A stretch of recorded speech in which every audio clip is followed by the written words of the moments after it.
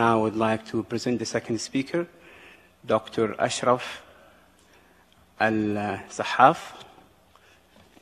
Dr. Al-Sahaf is the Director of Quality Management Department, Assistant Professor of Pediatric Gastroenterology at King Saud bin Abdulaziz University for Health Sciences, Consultant Pediatric Gastroenterologist, Hepatologist and Liver Transplant at King Abdulaziz Medical City, National Guard Health Affairs, Jeddah, Saudi Arabia.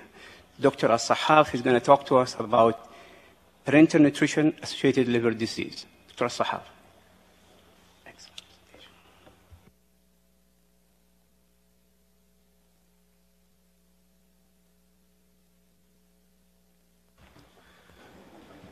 Assalamu alaikum. Uh, first, I would like to thank the uh, organizing committee for uh, inviting me for this important event. It's year 17, and it's a great effort, great work.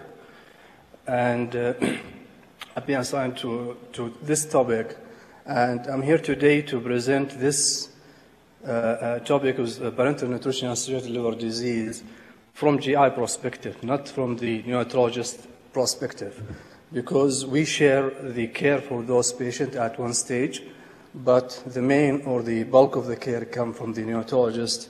And uh, I need to just go through certain points that is really very important to stress on that and, and have uh, a later discussion on that. So we know, this one is not moving, sorry. So the first report of the uh, parenteral nutrition side effect or complication was in 1975, and they review a series of cases, 15 uh, premature infant on TBN, and nine of them they have a complication. Then, by understanding this disease more and more, or this problem more and more, there's a change in the in the definition and the title, because parenteral nutrition associated cholestasis then later on changed to associated liver disease, and more recently there is a wide definition that incorporates all the uh, spectrum of the side effect of the uh, TBN under intestinal liver failure associated liver disease. Intestinal failure associated liver disease, sorry. And this is the main ter- definition of terminology or keyword that now we need to search about the uh, all the uh, literature and uh, research which will be under this topic.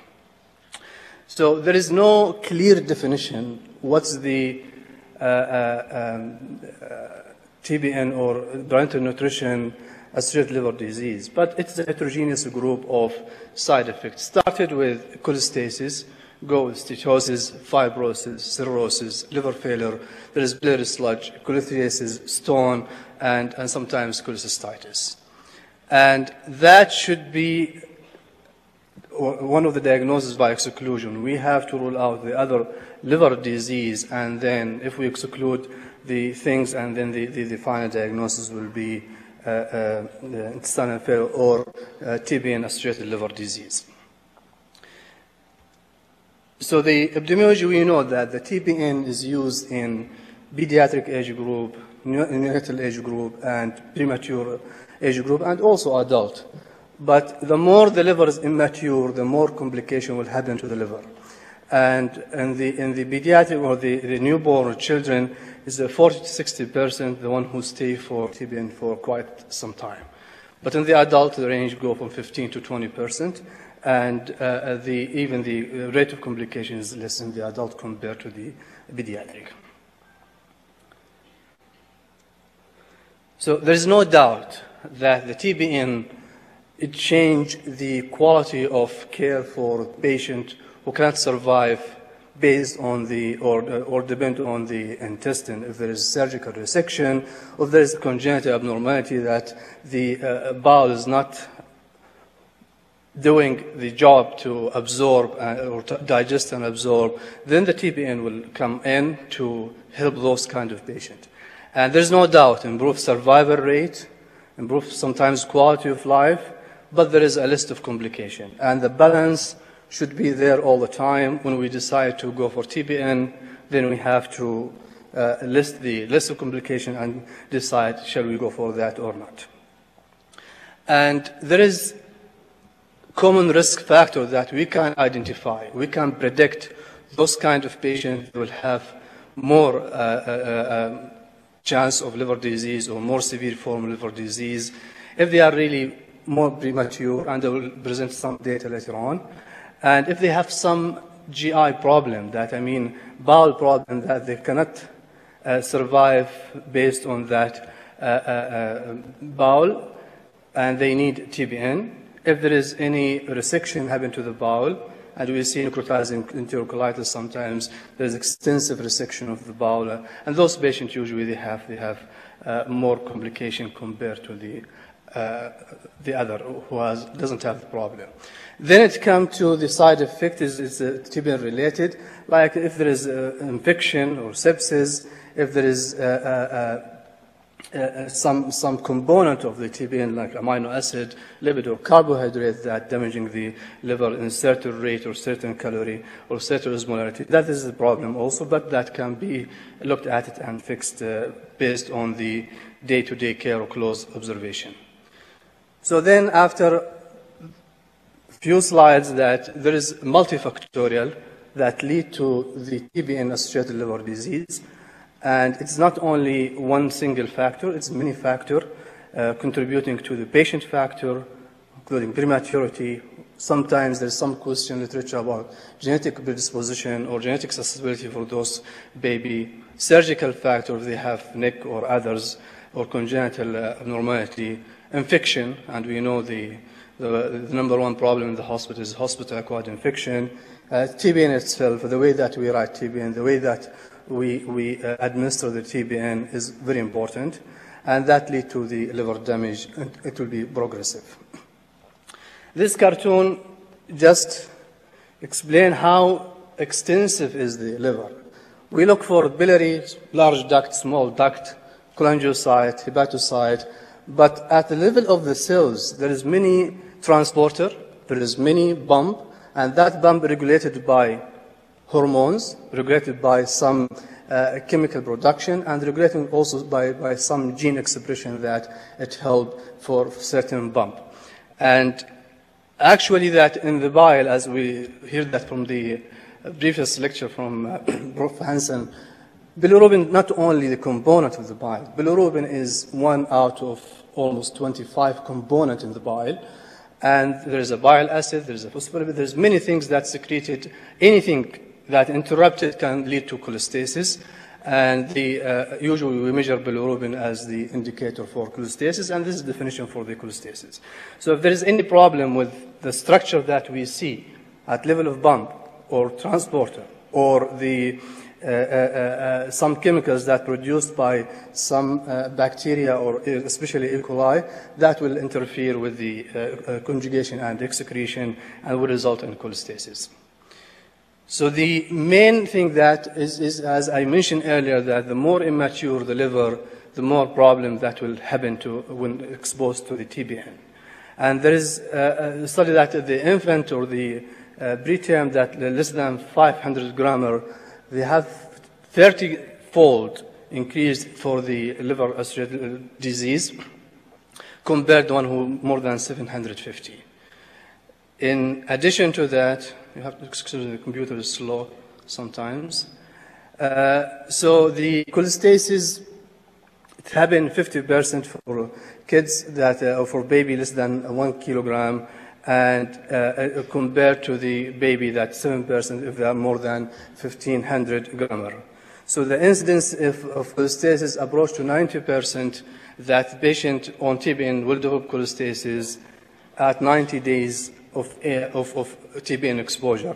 So the, the things that the liver will be affected, there's no doubt about that, but the, the extent or the uh, level of damage that will happen to the liver is variable between one patient to another patient according to the other factor.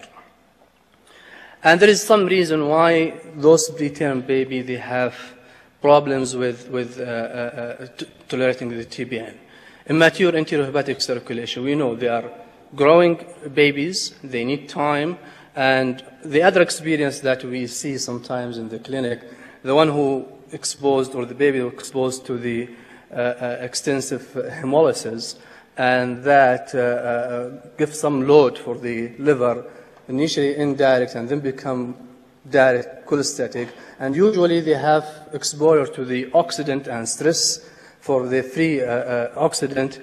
And usually the liver needs three months to clear this thing. So we follow in the clinic for one month, two months, and by three months you'll see the trend is coming down, provided that we rule out all the other causes that contribute to this problem. But if, if the, the liver need time to uh, uh, mature and to do the function in the, in the uh, uh expected or the required way. And there is the FXR receptor. This is a receptor regulates the bile acid in the bowel, and that receptor also needs time to uh, uh, develop the pathway for signaling and receiving and sending some, some uh, uh, uh, uh messages to the, the liver for, for bile acid secretion and controlling the flow. We know that, as we see before, that sepsis or catheter uh, related sepsis that one of the, our enemy in the NICU, and is uh, something that we have to uh, be very careful to control these things. And the reason behind that, uh, that we see this is the uh, hepatocyte and cholangiocyte. And when these things uh, exposed to the uh, toxins of the sepsis, the damage will happen all, at all levels, at level of hepatocyte, level of cholangiocyte, at level of duct, and that uh, will, will uh, worsen the picture, especially if the patient on TBN. So the TBN already hammering the liver, and, and there is a sepsis that will cause damage at all levels by, by all the, the toxins that secreted by especially gram-negative bacteria that, that really will, will worsen the picture more and more. And this is a closer picture about the, uh, how the pump or transporter work at the level of hepatocyte. And we know that mainly it is MDR2 and uh, bile uh, salt export pump, which is a BSEP pump. And this pump usually, uh, uh, if there's defect genetically, will cause BIFIC type 2, but also will be affected if there is any, any uh, uh, one of the products of the TBN can also affect that, that pump and also the MDR3, which is also genetically responsible for BIFIC type 3. But MRB2, this is the things that will, will be affected uh, with the TBN and sepsis as well. So there is some surgical factor we have to consider all the time. Uh, uh, any surgery that happens that change the flow of the gut or the flow of the content of the gut, if there is stoma, upper stoma, lower stoma, and refeeding, and all these things, it will affect the flow of the uh, bile and interrupt the enterohepatic circulation, and especially if the patient on the TBN or the baby on the TBN, that will also will aggravate the problems. And if there is any underlying disease that cause uh, uh, that surgical problems, uh, then we have to consider because there is some disease, genetic disease also affecting liver plus gut, and uh, it can happen in the premature baby as well. So uh, the TBN factor that really we, as a gastroenterologist, usually we don't come to NICU to tell the neonatologist what to do. They know what they are doing, but they, uh, they call you sometimes just asking for, for our opinion if this TBN uh, uh, uh, related liver disease and if we need to rule out other causes by doing genetic screening, virus screening, all the workup that rule out other causes. And then if it's TBN related, then the modification of the TBN will be happening. So we don't come usually to tell them hey, there is a, a high carbohydrate rate and there is uh, also the uh, type of amino acid that you are using, not okay. No, they, they, usually our colleagues, they are in neonatology, they know what they are doing, but we come just to deal with the liver and do more workup. So the, if there is high carbohydrate that we know, even the older children, they exposed to more fructose, they will have hepatic uh, or fatty liver disease. It starts with hepatic steatosis and steatohepatitis and go to the fatty liver and then cirrhosis. So there is also inflammation, make a stress on the liver if also the, uh, uh, with the other components of the TBN. So we have to be very careful in how to administer carbohydrate, what rate, what uh, uh, uh also amount. In the amino acid, I will not go through the amino acid, which amino acid is good, which is not good, but in the, from the GI perspective, we need taurine. And the taurine is the, the one of the essential for conjugation of the bile. And if there's deficiency of that, there's no conjugation. There's, there's some, some uh, cholestasis will develop later on. So that deficiency will lead to impaired bile acid secretion and then cholestasis. So we have to check that about the amino acid level and to be sure about those type of things. The second thing that we are concerned about carnitine, and the play role in the mitochondrial disease, uh, uh, uh, uh fatty mitochondrial oxidation. Uh, so that if there's deficiency, then it will be impaired in the function of mitochondria. Choline the same thing. If there's a deficiency, that will lead to uh, hepatic steatosis, and we have to check this and, and uh, replace it. And there's some animal study they, bro- they have uh, those complications. Once they replace that in a good way, things improve uh, uh, on on the animal uh, lab. Then think about the the type of lipid that you are using. We know there is omega three and omega 6. And there is a pathway to go down to the end product, and we need that for CNS development, we need that for uh, cell membrane, and also we need that for uh, vasoactivity, for inflammation, and all, all these things. But the message here that we know omega-6 is pro-inflammatory. It can induce inflammation, and this is through the arachidonic acid pathway. And there is omega-3 that uh, it's anti-inflammatory. And we, soybean uh, type of the, the uh, uh, product that more omega-6, less omega-3, or there's no omega-3, and then the fish uh, oil that omega-3 you come, and then now the third generation of the of the uh, uh, uh, lipid that contain a mix that balance between these things and minimize the inflammation risk for the liver.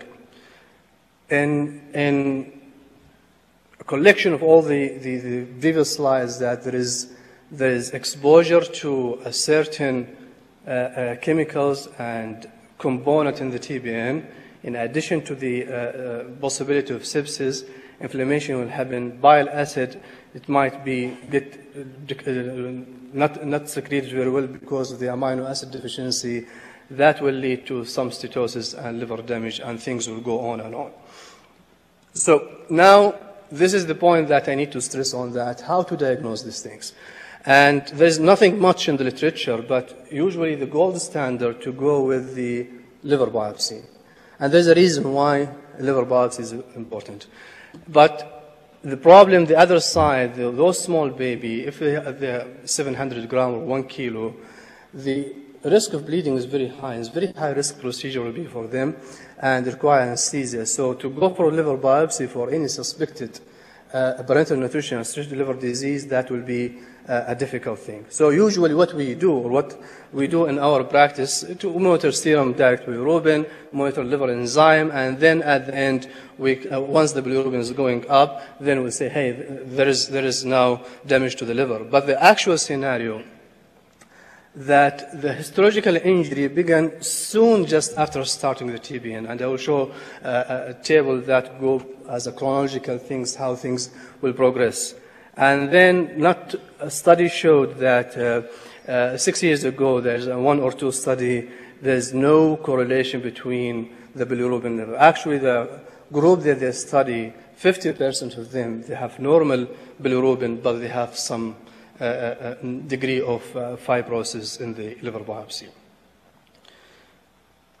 So bilirubin can be normal despite there is uh, hepatic fibrosis. And this is the uh, collection of uh, certain paper that uh, looking for this specifically. So in the first five days after starting the TBN, there's some fatty changes. Steatosis will happen in the portal tract, some eosinophils will, will accumulate, and extramedullary uh, uh, hematopoiesis will also start. And then there's stasis, will, uh, uh, canicular stasis that you can you can't see it as high bilirubin, but at the histological level, you can see some bile plugs start to be formulated around the uh, small duct, and that will, will happen around 10 days from starting the TBN. Three weeks later, there's a bile duct proliferation because there is like plug in the main duct and the liver was trying to overcome that by producing more bile duct. So bile duct proliferation, as we see in the biliary atresia cases, just trying to generate more duct system to uh, excrete the, the bile. And then 90 days later that there is moderate to severe portal fibrosis with possible ductopenia because if there is inflammation in that duct st- staying for a few weeks, then that duct will be obliterated and, and, and die. And then after that, five months later, we'll go to the cirrhosis is rare because there's few uh, group of patients they need TBN for that long, usually transient. But for uh, intestinal failure, short gut syndrome, small bowel syndrome, they need it more. And there's some report uh, about the uh, uh, hepatocellular carcinoma in those uh, uh, type of, of patient. So this is, I don't know if the picture is clear or not, but this represent the bile duct, and there is blood or the uh, uh, bile uh, stain here. And this is the how it look uh, like the fatty liver steatosis there, and this is the extramedullary hematopoiesis, uh, and uh, that changes happen as we see in the table very soon after starting the TBN. So we don't need to wait for uh, uh, uh, bilirubin to be high to discover there is a problem with the liver. And yes, bilirubin, that if we have high bilirubin is not a good indicator as a long-term survival. And, and this is will, for the people who are on TBN, both home TBN and, and uh, non-home TBN. If there's uh, a cholestasis, the survival will be less and less, but if there's no cholestasis, the survival will be around 80% at 15 years. So this process, it's good that it's reversible. Once we stop the TBN, the liver will try to heal over time. And uh, those with advanced cirrhosis or portal hypertension, usually they will not improve as, as a common sense. And this is the graph show that when we stop the TBN, it needs around three to four months. As, uh, uh, usually after one month things will decline, but three to four months to see that bilirubin is coming down as we see, and there is there is uh, uh, difference. Those, uh, usually the the uh, diet bilirubin will come and the the um, total bilirubin. Actually, they come to both together, but at some point both of them will be normal. So I will not go for the how to manage these things because you know better than me. Uh, so the pharmacological management, there is no single medication that we can use to guarantee that we can fix the liver that's already uh, affected by the uh, TBN. So the only thing that we can work together to promote enteral feed, and uh, the enteral feed that the good thing that for that is enhance the enterohepatic circulation and also will give you a chance to wean down the TBN and to stop the TBN in the future. Prevention of sepsis is very important that just to minimize the damage on the liver and to use the third generation lipid emulsion that we have it uh, in the in the most of the uh, uh, hospital. Also, there is some data that mentioned may help to increase the flow and minimize things, but also still the, the recommendation once we there is cholestasis we can use it. Sometimes we can use it uh, prior to that if there is evidence in the biopsy there is some uh, uh, uh, canicular cholestasis we can use also uh, even without high bilirubin. And then we need, uh, uh, if we fail and the liver failed, then the transplantation will be an option. And there is different uh, criteria from one transplant center to another, how to select those patients. And some center they put a certain limit for bilirubin, it's more than 60 or more than 70 or more than 100.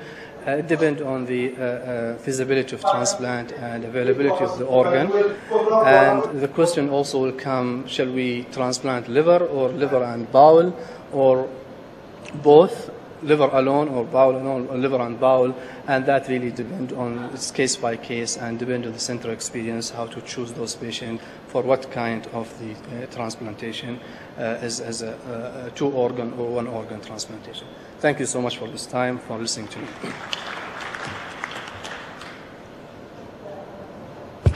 Thank you very much, Dr. Sahafi, for this excellent talk. Uh, can you please join us at the podium?